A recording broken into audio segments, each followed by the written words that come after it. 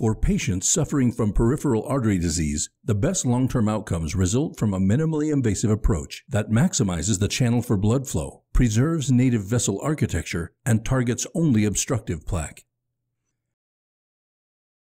Avinger's Lumivascular platform represents the first and only technology with onboard image guidance at the point of therapy for both atherectomy and CTO crossing procedures.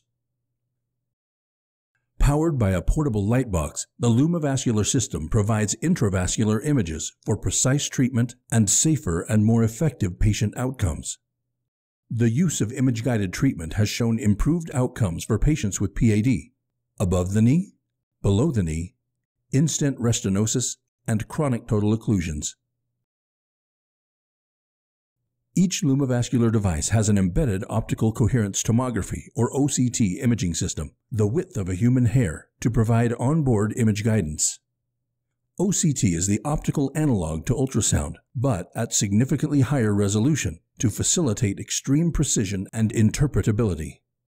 The Lumivascular system can provide subsurface information about plaque distribution, plaque morphology, and healthy areas of the artery to preserve during interventions.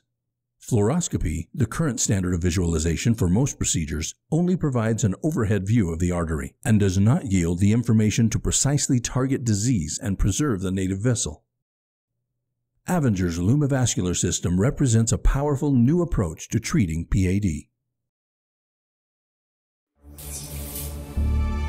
For more information about how Lumivascular can lead to safer and more effective outcomes, please visit avinger.com.